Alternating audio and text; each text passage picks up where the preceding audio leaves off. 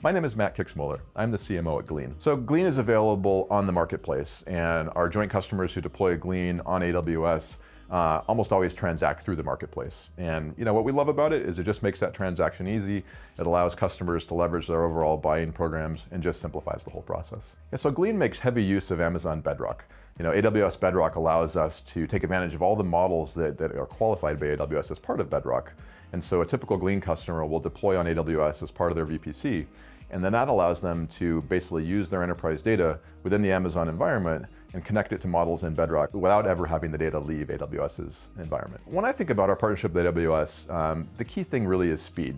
You know, we don't want to have to build things that the ecosystem can build for us. And there's so many services within the AWS ecosystem that allows us to build faster as an ISV. Number one is just that pace of innovation that allows us to, to be bootstrapped on top of AWS. And then the second thing is that Glean really sells to the most security conscious customers in the world.